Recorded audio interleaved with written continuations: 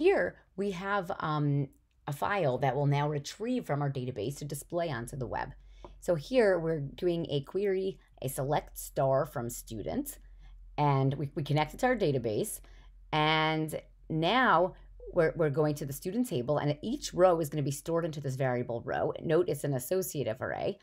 And we can put each column um, like ID, last name, first name, grade. So when we do row sub ID, row sub last name, and it's going to get the value. So those are the keys, and it's going to get the value for for that row. So if we are in the first row, it's going to get the ID, the last name, the first name, and the grade. And then in the, it's going to do it again. It's a while loop. Second row, ID, last name, first name, grade. It's a, it's a while loop, and I'm doing an echo, so it's just going to print it to the screen.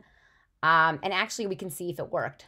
If we go, you can see I already ran it um, select students at PHP, and it's just printing out ID, last name, first name. It's not very nice, but but it works, and it's getting it from the database.